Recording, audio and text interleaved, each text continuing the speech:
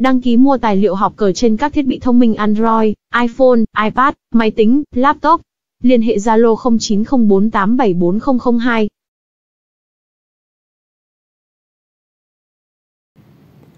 Xin kính chào quý vị và các bạn yêu cơ. Trong video này, kênh Học của Tứ Online sẽ gửi tới các bạn bài bình luận và phân tích nhanh về một trận đại chiến rất hay đánh trên nền tảng chơi cờ nổi tiếng của Trung Hoa, Thiên Tiên Tự Kỳ vào ngày 7 tháng 7 năm 2021, trận soi tài đỉnh cao của cao thủ số 1 của đài Trung Quốc, thiên tài cờ tướng Vương Thiết và một cao thủ giang hồ. Xin kính mời các bạn cùng đón xem. Trong màn đầu trên, chiến thần Trung Hoa lập tức triển khai thế trận của bên mình bằng phương án binh 7 đến 1 khi được cầm bên đỏ đi tiên. Bên đen lựa chọn đối binh cục. Bên tiên vào hai bình 3 và trong chính cục thì bên đen quyết định đường hướng đóng pháo đơ ngoài ra có thể phát triển đường cờ liên tượng thì có phần vững hơn.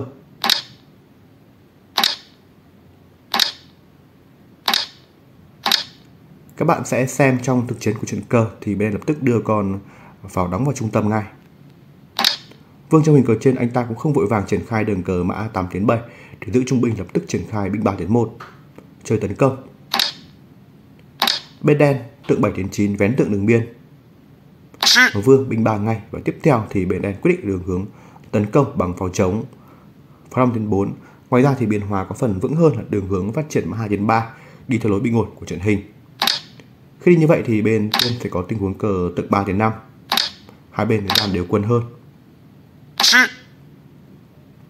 Trong thực chiến của trận cờ thì bên lập tức triển khai đường cờ phá vật tốt đầu ngay, tưởng chừng một thành công quá mạnh. Tuy nhiên thì chiến thần Trung Hoa là một cao thủ thiên tài của làng cờ tổ Trung Quốc. Anh lập tức phản ứng lại bằng đường cờ phát triển mã. Bắt pháo ngay, bên đen đã tiếp theo đường cờ tượng 9 đến 7 để triệt tiêu đường tốt, chấp nhận bỏ pháo để lấy lại sau. Ngoài bên trên nếu mà bên đen có thoái pháo về thì sao? Thoái một thì bị tình huống cờ tung phọc qua. Các bạn thấy vẫn phải đổi quân thôi. Bởi có thoái đường cờ phong thứ một thì vẫn bị tôn tẽ vào. Trong bối cảnh vật quan thì bên tên có thể ra xe để tranh nhịp tấn công và vẫn lại làm hình cờ bắt lại quân.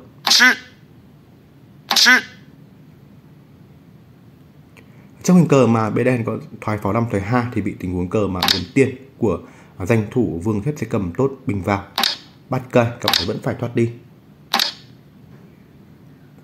Và trong thực chiến của trận cờ thì bên đen xử lý bằng biến hóa cũng khá hay, đường hướng tượng 9 đến 7 bắt tốt. Và vương mã 7 đến 5 chém pháo. Bên đen đóng pháo vào trung tâm bắt lại quân. Vương tượng 3 đến 5. Vật chiếu. Sĩ 4 tiến 5. Thu về và tiếp theo phường cờ khởi mã quỳ mã 2 đến 4.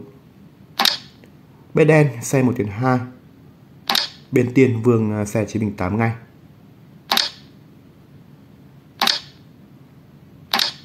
Mã 2 tiến 3. Mã 2 tiến 3. Tượng 3 tiến 5 và tiếp theo phường cờ xe 1 bình 2 ra xe tranh nhịp tấn công. Bên đen mã 8 tiến 9.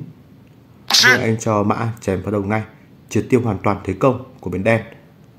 Bên đen binh 5 tiến 1 và vương triển khai đường cờ xe 2 tiến 6 tiến xe qua để quản lý điểm cao. Một cái vị trí tấn công rất hay dành cho bên đỏ. Bên tiên còn hai pháo, hai xe, bên này còn hai mã, hai xe. Tuy nhiên về cái thế đứng thì bên đỏ đẹp hơn khá nhiều. Xe chí bình 8 vương anh không đấu xe, lập tức điều xe 2 bình 7 tấn công ngay.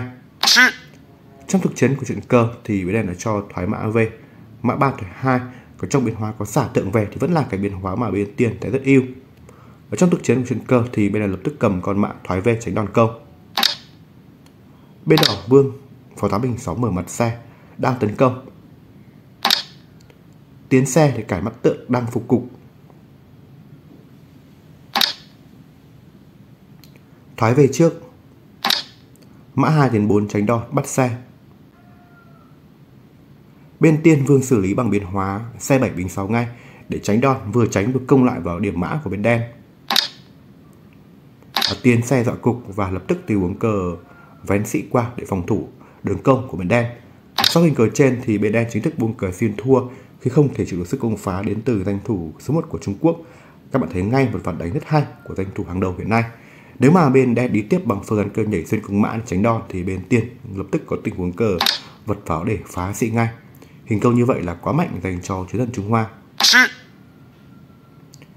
Bên đen có thu ra về để đấu thì bên đỏ sẽ không đấu mà lập tức chạy qua thu về có đảo xe bình quân lộ 1 thì bên tiền hoàn toàn có thể ghim xe tấn công. Một công quá mạnh như vậy thì bên đen thì không thể phòng thủ tấn công. Như vậy kênh học của tướng lai vừa gửi tới các bạn phần bình luận và phân tích nhanh về ván đánh trên một trận cờ rất hay của danh thủ hàng đầu Trung Quốc hiện nay, chiến thần Vương Thiết trên Thiên Thiên Tự Kỳ vào ngày 7 tháng 7 năm 2021. Xin kính chào, và hẹn gặp lại các bạn.